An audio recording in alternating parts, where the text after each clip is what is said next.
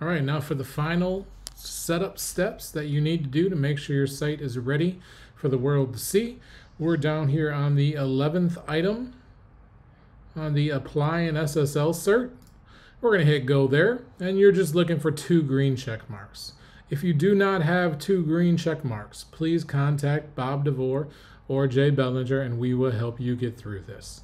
Then I'm going to go back to home, and I'm going to scroll down, completing your site activation. Number one right here, make sure your site is visible to search engines.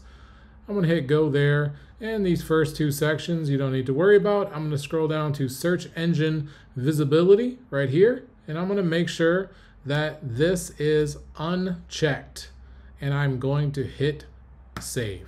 After I hit save, I will get the green bar saying that I've saved what I've done.